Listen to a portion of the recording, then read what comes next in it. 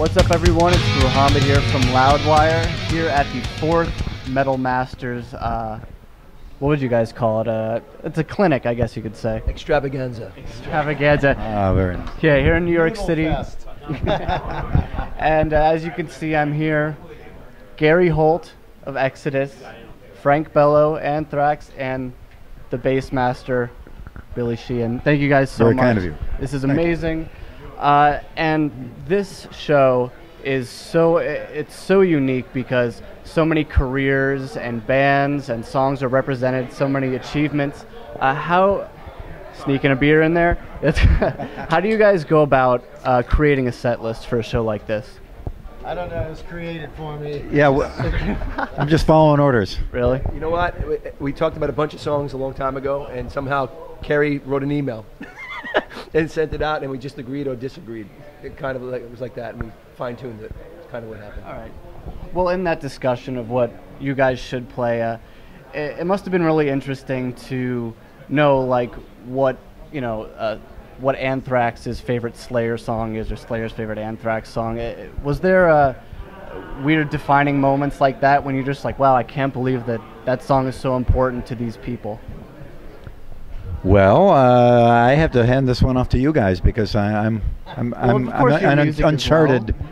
uncharted uh, territory. No, it's just because th- this is the kind of music we were going to play. We were going to play Anthrax, Slayer, Pantera, uh, uh, Exodus. Right. That's and I'm glad because that's that's not my normal thing. Yeah. So for me to do that is just uh, it's a challenge and I and I love it and it's a great honor to be up there with all these guys. So. Yeah, yeah, we've been saying that uh, with Billy stepping up to the plate with this stuff is completely out of his element, which I love. I mean, he can play anything; it doesn't matter. He's Billy, but um, the way he's doing it, he took it on, and that's what I pre- as a player.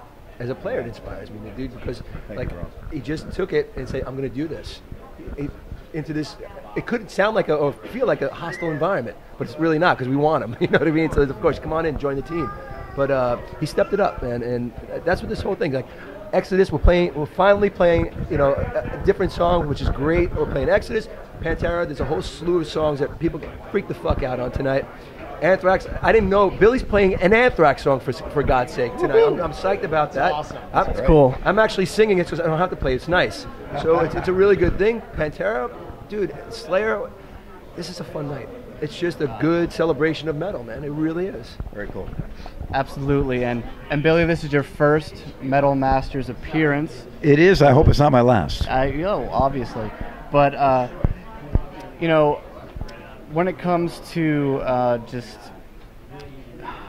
I'm not, are there any songs especially that you wanted to tackle on bass, being such a, a prolific bassist in your own right? Well, just the, this genre alone, I wasn't familiar enough with enough of the songs to pick anything specifically. But when I found out there was Slayer, Pantera, Exodus, Anthrax, I I dove into it. I was at home and I, I downloaded all the songs and I got them all and figured them all out, or tried to, as best I could. I Frank Frank coached me through a couple parts here. Thank you, Frank. Got it though, man. It was right. You were right on anyway. But uh, it, it, it's just uh, that challenge of going into the unknown and doing something you don't normally do. I mean, it'd be like uh, you, you normally do uh, a video or are you a print media? Uh, I'm just bad at everything. Oh, okay. Well, imagine ri- then imagine having to write a book. You know, it's a, it's a different challenge. I think this may be the day. and, uh, and, and so, Gary, you know, we saw you on Mayhem Fest this year with Slayer. I have to say, you were absolutely phenomenal with them, really, truly. And um, with the whole process, has it been difficult being away from Exodus at all? You know, is it going to be uh, really bittersweet when you're finished with Slayer? You know, when uh, when Jeff know, comes I'm back. you know, I'm just wearing two hats right now, you know, and just, you know, because when the Slayer thing came up, I was gonna like take like some time and and just kind of lay low at home and do just select shows and write the next Exodus record. And you know, that's what I've been doing. I've been writing all along, and and uh, you know, I don't have a whole lot going on for the rest of the year, so. I'm hoping to get in the studio for the next Exodus record, you know, pro- hopefully, uh, you know, around the end of the year or something like that. But you know, it's like last year we did the the Slayer Rob Zombie Exodus tour, so I did double duty. You know, played a show went back and combed my hair and went back out and did it again. You know? Not a bad gig. Not too bad. We did a couple of shows where we played back to back though, because outdoors and Rob Zombie had all the like you know the LED screens and needed the darkness for that stuff to be effective, and it's like 99 degrees and 100% humidity, and those were rough because I played a set, got off stage, and 20 minutes later I was back doing it again, and yeah, that that one was hard. Yeah, and uh, you know, for you guys who have, uh, this is now going to be you know multiple Metal Masters appearances. You know, when you guys are up and playing a song by someone like Slayer, who's maybe their uh, style is a little more uh, atmospheric or demonic, you know, than uh, more of the aggressive style you guys play. Uh, do you tend to put your own personality into those songs? Do you try to, or do you try to walk the line more or less of what's already been recorded?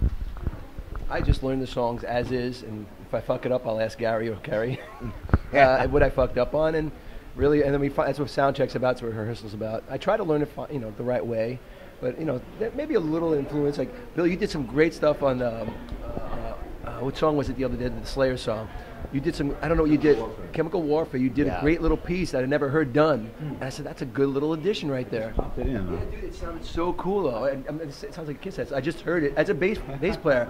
You just heard it. It's like, man, that sounds so cool, man. But why not? It's his own little flavor. It's pretty amazing. You know what I mean? You know, it's just I never heard it before, and it was nice. I, I, I, like yourself, I want to. I want to stick with. Uh, I want to. I want Kerry to be happy Right, with right. what I'm playing. You know, Right. Like I want you to be happy and you to be happy Yeah. when I'm playing your stuff. Uh, that's important to me. But course. uh, sometimes, you know, somebody will say, "You know, give a give us a little thingy there." Little, okay, little flavor. It was a Yeah, little, flavor, thingy. and, and you know what? It was nice for the for the dish. cool. You know what I mean? It really was. Just not too much salt. It- not, not too you much. could salt, add all you want. I'll just stop playing and watch. That's why sometimes I just let him go. It's, like, it's good, man. I want to watch. Root for one more. I was I was watching tonight because I just wanted to watch. All right. all right, one more question. I'll let you guys go. Uh, this Metal Masters clinic is very filled with uh, veteran musicians with very, very uh, influential careers. but uh, if you were to handpick someone from maybe a, a newer band, uh, and not just a newer band, but also any person in history, dead or alive, who would you want uh, to be a part of this clinic? Well, we were discussing the late great Rory Gallagher. Oh. Yeah, awesome, Rory Gallagher. If I could play "Follow Me" live before Rory Gallagher, that'd be awesome. Gary Moore, Gary, Moore. I would like. Um, Phil Lynott. Oh, dude, Phil and I, imagine having him there. Oh, I would do that in a second. I would Just just, doing I just all watch Thin like this. Lizzy I just songs watch, on that. dude. Oh, just let God. him do it. I, I'll jam. I'll, I'll play the bass for him. I'll, whatever I got to do. Hear that voice. I'll wash Oh, his man. car for him. Oh, Yeah, I'll, I'll go mow his lawn. that's a great question. You know what, Hendrix? Imagine Hendrix up there. I mean, that that's it. Imagine Bon Scott. Oh, imagine just jamming with Bon Scott. Just any ACDC song you want to. Imagine that. Just once. You know. That'd be crazy. It'd be insane. Just there's a One of lot. my favorite You know, bands there's a of lot. all We're time. fans. We're fans. So. Would you settle for the uh, what was it the the hol- the holograms of those like they did with Oh, Tupac? Tupac, yeah. I, that looked crazy. It was good, though. They, it actually looked good. But no, I want the real deal. If you, you can offer, you know. You can do a hologram of me, and I'll just sit back here and drink beer. Inevitably, that's what's going to happen with the touring. We're all going to put out holograms. Yeah, you Oh, guys. yeah. Just going to press the button. Well, thank you guys so much. I truly appreciate. Can't wait for the show tonight. Gary Holt, Billy Sheehan, Frank Bello. Holy shit. Thank you.